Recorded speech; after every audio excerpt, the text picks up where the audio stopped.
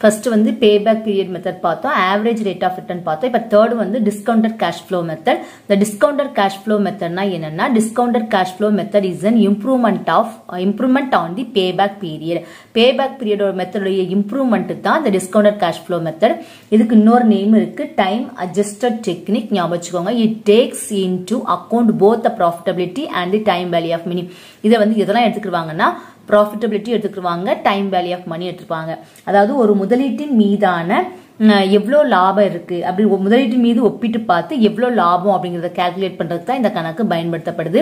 இது வந்து three types இருக்குது. ஃபர்ஸ்ட் ஒன் வந்து net present value method excess present value index internal rate of return சொல்லிட்டு மூணு டைப் இருக்குது.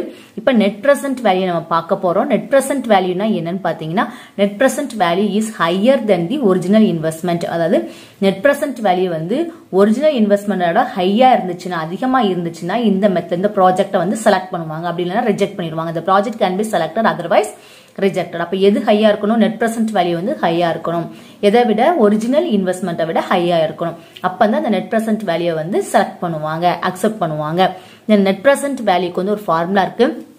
Net present value is equal to total present value minus net investment இந்த formula ஞாபகம் then calculation of net present value net present value வந்து ஒரு formula கொடுத்துருக்காங்க net present value is equal to a1 by n plus 1 plus r the whole 1 plus a2 divided by 1 plus r the whole squared plus an by 1 plus r the whole n அப்படின்னு கொடுத்துருக்காங்க. அப்படின்னா இந்த ஃபார்முலால நம்ம ஏ one A டூனா என்னங்கிற future in cash flow cash flow எவ்வளோ இருக்கோ அதெல்லாம் எழுதணும். தென் ஒன்றுனா நமக்கு தெரியும். ஒன்று ஒன்றா போட்டுக்கணும். ஆறுனா என்னன்னா interest interest rate of return வந்து எவ்வளோன்னு கொடுத்துருக்காங்களோ அது ஹோல் ஒன் அதே மாதிரி டூக்கும் அதே மாதிரி என் எத்தனை நம்பர் கொடுத்துருக்காங்களோ அத்தனை நம்பருக்கும் அப்படியே அப்ளை பண்ணி இந்த சம்மை வந்து ஆட் பண்ணி கீழே தான் போட வேண்டியதான் இது அந்த சம்ம இந்த ஃபார்முலா வந்து தெரிஞ்சு வச்சுக்கோங்க. என்னங்கிறது என்னன்னா நம்பர் ஆஃப் இயர் then வந்து excess present value index now one of the major disadvantages of the present value method is that it is not easy rank project on the basic of net present value when the cost of the project differ compose such project the present value index is prepared அப்படின்னா என்னன்னா இந்த first discounter அதாவது net net present value மெத்தோட improvement தான் என்னன்னா excess present value அதுல இருந்து கொஞ்சம் மாடிஃபை பண்ணி தான் அந்த எக்ஸஸ் பிரசன்ட் வேல்யூ மெத்தடை வந்து கொண்டு வந்திருக்காங்க. ஏன் இந்த எக்ஸஸ் பிரசன்ட் வேல்யூ மெத்தடை கொண்டு வந்தாங்கன்னா இதுல வந்து இந்த நெட் பிரசன்ட் வேல்யூ மெத்தடில் வந்து பல்வேறு குறைகள் இருக்கு. அதாவது முதலீட்டுடைய மதிப்பு வந்து வேல்யூ ஆஃப் மணி வந்து டிஃபர் ஆகுது வேறுபடுறதுனால. அதை ஒப்பீடு செய்வதற்கு அந்த திட்டங்களை ஒப்பிடுவதற்கு தான் இந்த அதை வந்து ரெக்டிஃபை பண்றதுக்காக தான் இந்த எக்ஸஸ் பிரசன்ட் வேல்யூ மெத்தடை வந்து கொண்டு வந்திருக்கிறாங்க. அதுக்கு வந்து அதுக்கு தான் வந்து இதை வச்சு அதாவது எக்ஸஸ் பிரசன்ட் வேல்யூவை வச்சு அதில் உள்ள டிமெரிட்ஸ் அதாவது நெட் பிரசன்ட் வேல்யூ உள்ள டிமெரிட்ஸை வந்து ரெக்டிஃபை பண்றதுக்காக தான் இந்த எக்ஸஸ் பிரசன்ட் வேல்யூ மெத்தட் சொல்லியாச்சு. இதுக்கு ஒரு ஃபார்முலா கொடுத்துருக்காங்க excess present value is equal to total present value of cash inflow by total present value of cash uh, outflow into 100 அதாவது cash inflow divided by cash outflow into 100 இது அதுக்கு formula எதற்காக இந்த method கொண்டு வரப்பட்டது? எதோட modification தான் இந்த மெத்தட் கேட்டா நெட் பிரசன்ட் வேல்யூட மாடிஃபிகேஷன் தான் இந்த method so discounted cash flow method வந்து எதோட மாடிஃபிகேஷன் கேட்டாங்கன்னா pay back period method so எதோட மாடிஃபிகேஷன் நம்ம வந்து தெரிஞ்சு வச்சுக்கணும்.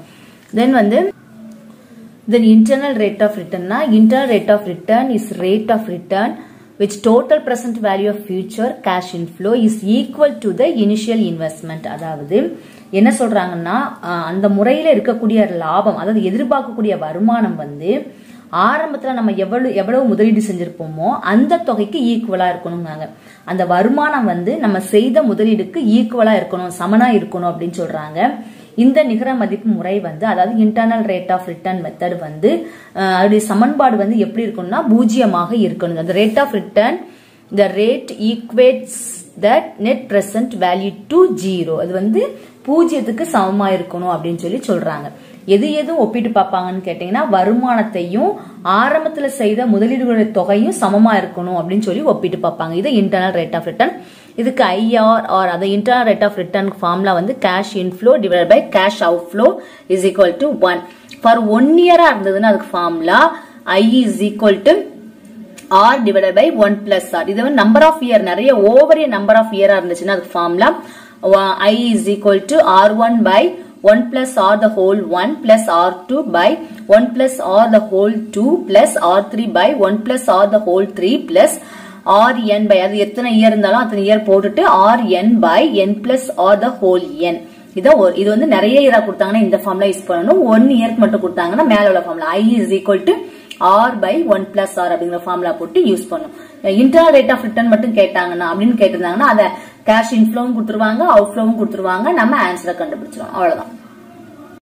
இதுல வந்து அக்செப்ட் அண்ட் ரிஜெக்ட் கிரைட்டீரியன் ஒன்னு இருக்கு. அதாவது எதை ஏற்றுக்கொள்ளணும் எதை வந்து நிராகரிக்கணும் அப்படின்னு சொல்லி நம்ம இப்படி ஒரு ஒரு டிஆர்பி கொஸ்டின் கேட்டிருக்காங்க ஆல்ரெடி அதாவது நெட் பிரசன்ட் வேல்யூ வந்து ஹையரா இருக்கணும் ஜீரோ அது net present value greater than zero ஜீரோவை விட நெட் பிரசன்ட் வேல்யூ அதிகமா இருந்துச்சுன்னா அது அக்செப்டட் அக்செப்ட் பண்ணணும். Net present value less than zero ஜீரோவை விட குறைவா இருந்ததுன்னா அதை வந்து ரிஜெக்ட் பண்ணணும்.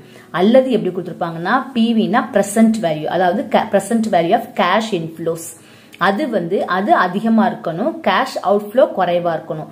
So present value of cash inflow greater than cash outflow C Chinna outflow அப்படி இருந்ததுன்னா அதை அக்செப்ட் பண்ணணும். அதாவது present value cash inflow less than the C cash out அவுட்ஃப்ளோவா இருந்துச்சுன்னா அதை வந்து ரிஜெக்ட் பண்ணணும். இப்படி ஃபார்முலா கொடுத்து இது அக்செப்டா ரிஜெக்டான்னு கேட்பாங்க. சோ வந்து நீங்க பாத்துக்கோங்க பிவி கிரேட்டர் தென் சின்னா அக்செப்ட் பிவி லெஸ் தென் சின்னா reject net present value greater than ஜீரோனா accept என் net present value less than ஜீரோனா reject so இது வந்து பார்த்துக்கோங்க. நம்ம இந்த இந்த இந்த ஃபர்ஸ்ட் சாப்டரில் வந்து அந்த ஃபர்ஸ்ட்ல வந்து மூணு ஃபார்முலா உள்ள சம்ஸ் பார்த்துருக்கோம். Net present value method payback period method second வந்து internal rate of return method அதாவது average rate of return method அப்புறம் டிஸ்கவுண்ட் டிஸ்கவுண்ட்ல வந்து மூணு ஸ்டெப் மூணு வகை. Net present value excess present value internal rate of return அப்படின்னு சொல்லிட்டு பார்த்துருக்கோம். இதோடைய சம்ஸ் எல்லாம் வந்து அந்த சாப்டர் எண்ட்ல வந்து இந்த இதோட சம்ஸ் எல்லாம் போட்டு பார்க்கலாம். தேங்க்யூ தேங்க்யூ ஃபார் வாட்சிங்